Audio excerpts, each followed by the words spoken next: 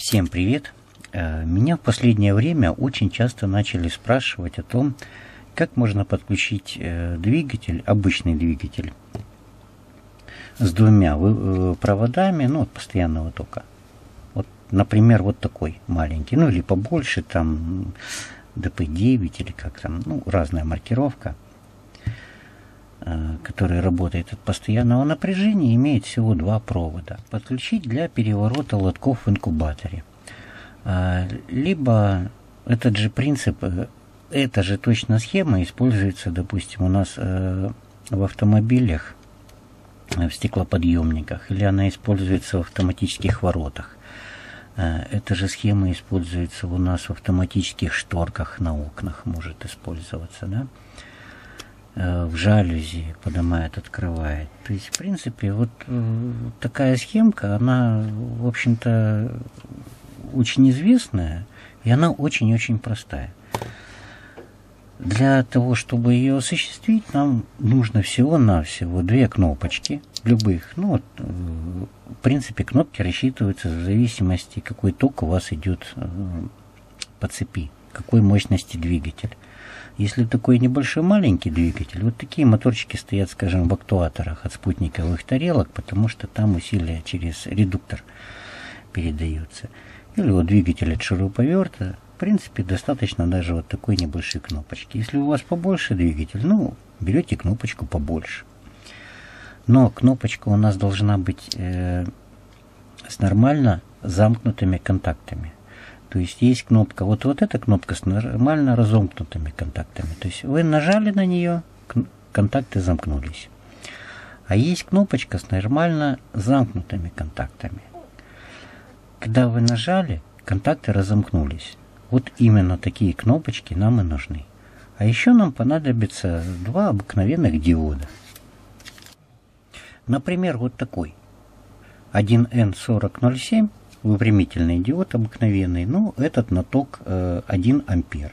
В принципе, диоды тоже э, подбираются в зависимости от того, какой двигатель э, вы используете. Если у вас небольшой маломощный двигатель, значит и маломощные диоды подойдут. Если двигатель помощнее, значит по току подбираете диод выпрямительный.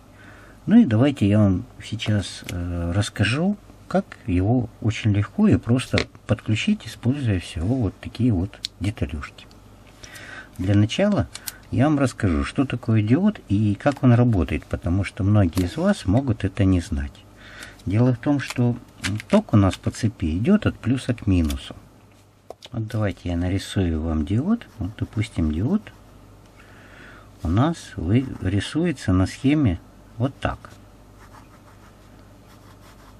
Вот. Это у нас анод, сюда подается плюс, а это у нас катод. Он подключается к минусу. И вот ток у нас идет именно вот так течет от плюса к минусу. Видите, он выглядит у нас э, в виде как бы стрелочка такая. Получается треугольничек. Он и показывает, в какую сторону течет ток. А в обратную сторону ток у нас течь через него не может.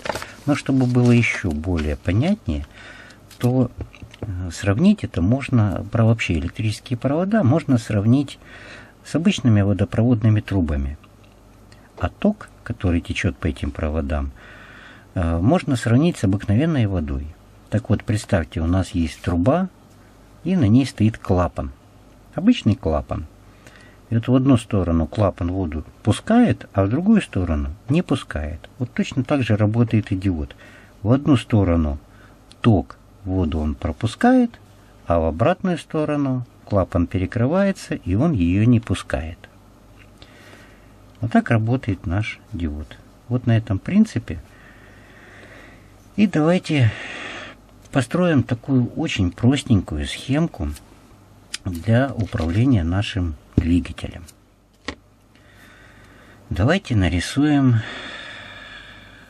представим, вот это у нас двигатель, моторчик. Он у нас обозначается вот так, кружочек с буковкой М. Значит, у нас вот один вывод и второй вывод. Вот у нас два провода от него выходят. Вот сюда мы подключим провод от блока питания, ну, либо от батарейки. Сюда будем подавать поочередно либо плюс, либо минус. Ну, полярность будем менять. А вот здесь начинается самое интересное. Нам нужно взять два, две кнопочки, но с нормально замкнутыми контактами. Они рисуются где-то вот таким образом. Давайте я поближе вам покажу. Вот это э, на рисунке обозначение кнопки с нормально замкнутым контактом. То есть, когда мы на нее нажмем, контакт разойдется и цепь у нас прервется. Нам нужно две таких кнопки, потому что, ну, давайте я буду говорить все время, пояснять на примере э, лотков для инкубатора, ну, либо шторок, ну, для инкубатора, потому что чаще спрашивают, ну, вы же народ у меня сообразительный, поэтому и сами поймете, что работает одинаково, только тут у нас лоток будет нажимать, когда крутится, а в случае со шторками, шторки будут нажимать. В одну сторону подъехала шторка, нажала кнопочку, в другую сторону подъехала, нажала другую кнопочку. Вот. Так вот, нам надо две кнопочки – вот это у нас одна кнопочка. Вот давайте нарисуем еще одну кнопочку, тоже нормально замкнутая. Вот. И тоже у нас пошло либо к питанию.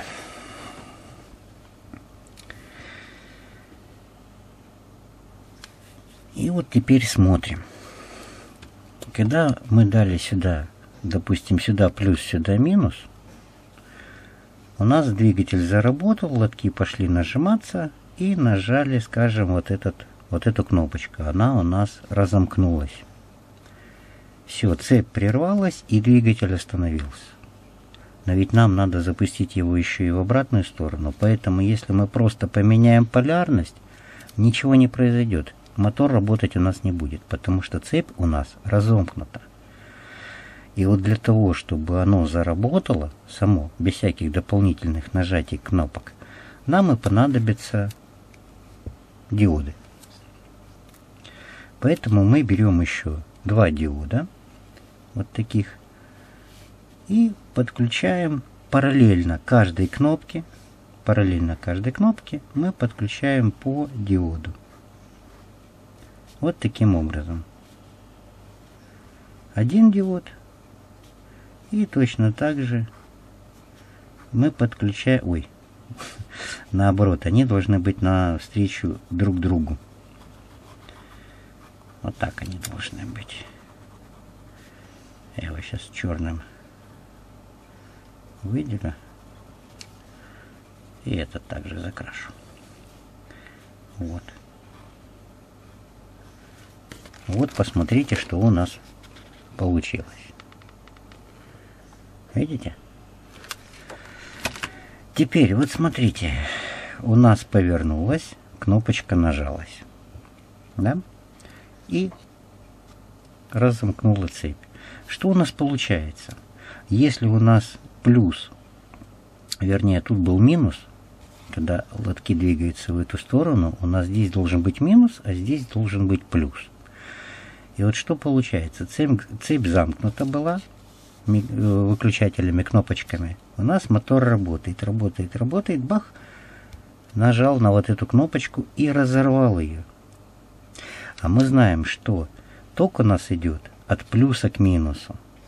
То есть вот так по цепи. Ну, здесь у нас минус, здесь у нас плюс. И он у нас идет только в эту сторону. А в обратную сторону он у нас не идет. Ну, так он устроен постоянный ток. Так вот, у нас цепь разомкнулась, а вот тут стоит диод. А диод как раз, ну, по цепи мы идем тут через микровыключатель, через кнопочку, тут у нас разомкнуто, значит ток может идти только сюда. И дальше он не идет, потому что диод клапан стоит и не пускает в эту сторону. Все, значит моторчик у нас остановился и больше не крутится. Теперь мы берем и меняем полярность. Теперь у нас здесь плюс, а здесь минус. И у нас ток потек, потек, потек, здесь разомкнуто, но он пошел через вот этот диод. Он его пропустит, и дальше через выключатель он пошел. И мотор начнет крутиться в обратную сторону, пока не нажмет вот эту кнопочку. Кнопочка разорвалась, и моторчик у нас остановился. И будет стоять у нас выключенным до тех пор, пока мы опять не поменяем полярность местами. Вот такая вот простейшая схемка, буквально вот из четырех деталюшек. Вот она. Ну давайте я вам сейчас показываю ее нарисованную более красиво. Ну и давайте я вам теперь это, чтобы закрепить наши знания, покажу более наглядно. Я возьму вот этот двигатель. И давайте я вам действительно продемонстрирую, как оно у нас работает. Я собрал вот такую схемку. Вот смотрите. Вот наш мотор. Вот он нарисован. Вот наши концевики, микрички, ну, кнопочки. Вот какие у меня были маленькие под рукой, те я и взял. Но если у вас побольше двигатель, вы их возьмете побольше. Главное условие, чтобы они были без фиксации. Вот вы нажали, оно нажалось. Палец отпустили, и она отпустилась. Потому что есть кнопки с фиксацией, они нам не подходят. Нам обычные, обычные кнопочки без фиксации. Вот у нас вот эта цепь. Вот у нас две кнопочки и вот у нас два диода. Ну, кто прекрасно читает схемы, не удивляйтесь, что я так подробно а, объясняю, потому что меня спрашивают люди, которые с электроникой, ну, не очень дружны, и для которых схемы вот такие, темный лес. Поэтому я и стараюсь подробно все это объяснить. Так вот, Дело в том, что на камеру вы вряд ли увидите, в какую сторону будет крутиться у нас двигатель. Поэтому я параллельно от моторчику э, припаял светодиод. Но светодиод этот непростой. Светодиод у нас имеет два вывода, но он двухцветный. При смене полярности он будет гореть либо красным, либо зеленым. И вот мы по цвету либо красный, либо зеленый и будем видеть, что двигатель у нас крутится либо в одну сторону, либо в другую сторону. Так, сейчас я это все расположу более... Так, это чтобы было видно на камеру. Получше. Так, так, мне будет нажимать удобно. Хорошо. И подключу... Ну, сейчас я все это расположу чтобы не терять ваше время, и уже включусь. Ну вот, я быстренько так на столе слепил что-то типа проверочного стенда, подключил к терморегулятору через э, релюшки, но э, подключил точно так же, как видео, где я подключал актуатор. Ссылочку вот здесь вот вы можете видеть сейчас. Вот. Если кто не видел этот ролик, кликните по ссылочке и посмотрите. Также эта ссылочка будет в описании под этим видео. Поэтому я не буду подробно вам рассказывать, как я подключал релюшки. Но опять, релюшки нам нужны только, когда мы говорим о терморегуляторе и инкубаторе. Если говорить о шторках, то понятно, что никаких релюшек там нету, они там и не нужны. Но об этом, если подробнее, то спрашивайте в комментариях. Сейчас я говорю об инкубаторах, потому что об этом меня спрашивают чаще всего. Так, запитывать наш двигатель я буду вот от такого повербанка. Я его включу. 5 ну, вольт будет достаточно. Вот. Вот он у нас закрутился и горит зеленый светодиод. Показывает что он вращается у нас в одну сторону. Там. Ну, вот сейчас по часовой стрелке он вращается. И вот лотки у нас поворачиваются, поворачиваются, поворачиваются и нажимают, не успел. Ладно, вот красный, видите, он загорелся в другую сторону. И лотки у нас пошли поворачиваться, поворачиваться, поворачиваться, пока не нажали вот на кнопочку. Хопс, нажали. Все, двигатель остановился. И вот я кнопку удерживаю. То есть он в таком состоянии э, у нас будет находиться до тех пор, пока не поменяется полярность. Полярность поменяется автоматически сейчас с терморегулятора. Вот загорится вот здесь вот последний, вот этот желтый светодиод. И он у нас должен будет закрутиться в обратную сторону. Вот ждем. А время я установил одну минуту. Ну, для того, чтобы долго не ждать. А вообще время можно установить тут и 9 часов. Без проблем. Вот она у нас крутится, крутится, крутится, крутится и нажимается кнопочка. Все, и двигатель остановился у нас. И вот он будет у нас в этом положении выключенным до тех пор, пока у нас полярность не э, поменяется. Когда поменяется полярность, полярность поменяет прибор у нас, терморегулятор. При этом вот желтый светодиод этот погаснет. Вот давайте подождем. Я время установил одну минуту для того, чтобы долго не ждать.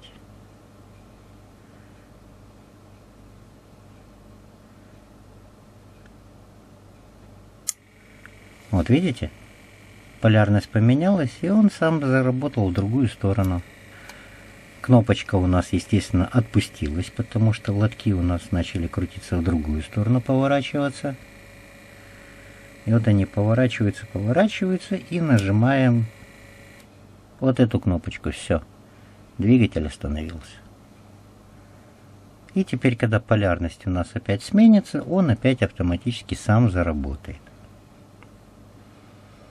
Вот сейчас мы это с вами увидим.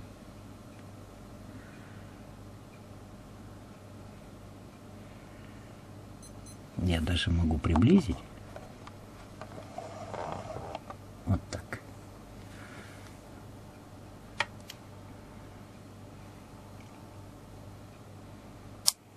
Вот видите? Закончилось место на флешке, поэтому много чего наговорил. Половина не вошло. Ну, в принципе, я все сказал. Единственное, на чем еще хотелось бы остановить внимание, что вот под эти такие кнопочки, ну, нет, какие вы будете ставить, чтобы на них не сам лоток э, нажимал, потому что, ну, кнопки не вечные, рано или поздно они все равно сломаются у нас. Поэтому, если она сломается и двигатель не остановится и будет достаточно мощный, то он просто может их раздавить. Поэтому, чтобы этого не было, ну, во-первых, значит, э, нажимать на кнопку нужно не лотком, а через какую-то гибкую пластину. Вот так. То есть вот лоток идет, идет, раз, нажал через пластинку. В случае чего он пойдет дальше, и пластинка это у нас согнется. То есть вот это у меня в руках жесткая пластина, она не годится. А какую-то мягенькую, там, тоненькую, там, жестяночку. И она согнется, и все. Это первое. А, второе.